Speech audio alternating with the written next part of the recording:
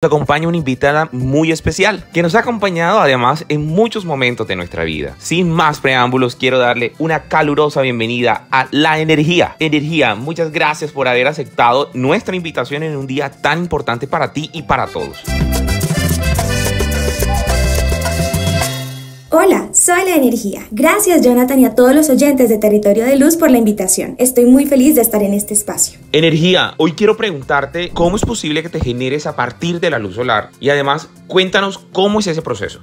Claro, para responder tu pregunta, lo primero que quiero decir es que no puedo hacerlo sola. Necesito del poder del sol y del trabajo de expertos como el equipo de Enel Green Power para que todo el proceso sea una realidad. Entonces, a través de la instalación de paneles solares en lugares donde hay mucha radiación, como por ejemplo aquí en Ponedera y Sabana Larga, es posible captar y aprovechar la incidencia de los rayos solares para transformarlos luego en electricidad a través de la tecnología de los paneles y de equipos especiales para ello. Luego, soy transportada a través de cables hasta llegar a sus casas, comercios y ciudades. Oigan, qué interesante eso. Me gustaría que le contaras a nuestra audiencia por qué se dice que la energía solar es limpia. Además, si hay otro tipo de energía que no sea limpia. Así es, la energía solar es una energía 100% limpia y eso es lo más importante de este tipo de generación. Yo me genero de manera limpia cuando en el proceso no quemamos ningún tipo de combustible que contamine el ambiente con emisiones de carbono o gases de efecto invernadero. Cuando me genero a partir del sol y del agua, por ejemplo, no contaminamos el medio ambiente. Sin embargo, es importante que todos conozcan que los países siempre buscan tener varias tecnologías para generarme y hoy existe un fuerte compromiso para que me genere cada vez más a partir de fuentes naturales. Eso es que decimos que estamos en transición energética. Es un proceso gradual que conlleva a muchas inversiones de empresas como Enel para que esto sea una realidad para Colombia y para todos los países del mundo. Así es. Enel no solo está desarrollando proyectos para generar energía a partir del sol en el Atlántico, sino en otros departamentos de Colombia como el Cesar y Magdalena. Energía, ¿puedes explicarnos de manera muy sencilla y resumida por qué la energía solar es esencial para esa transición energética que tú mencionas y eso que tiene que ver con el cambio climático?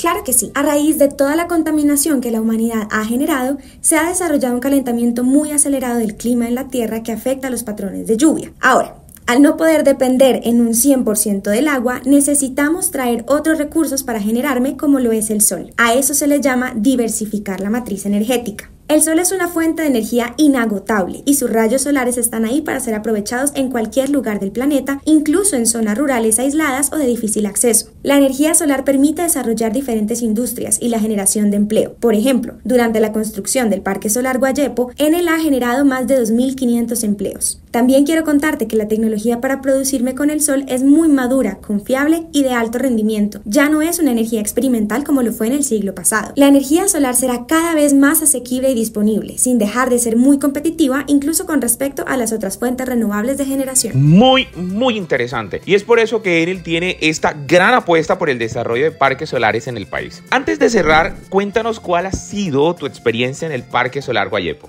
maravillosa. Es el proyecto fotovoltaico en construcción más grande de Colombia. Imagínate que este parque solar será equivalente al tamaño de 2.000 canchas de fútbol en un terreno de más de 1.110 hectáreas. Tiene un avance constructivo superior al 76% y lo mejor es que ya me están generando en etapa de pruebas mediante 820.600 paneles solares que tiene el parque. Es muy bonito ver todos los empleos que esto genera, el desarrollo y progreso para la región, y hasta se reutilizaron parte de los muebles de la construcción para hacer un espacio de juego para los trabajadores que están construyendo el parque.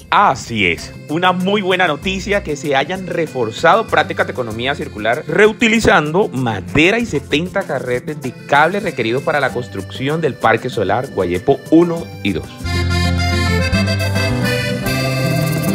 Es así como finalizamos este episodio de Territorio de Luz. Muchas gracias a la energía por acompañarnos en el Día Internacional del Sol y a ustedes, nuestros oyentes, gracias por sintonizarnos. Hasta la próxima.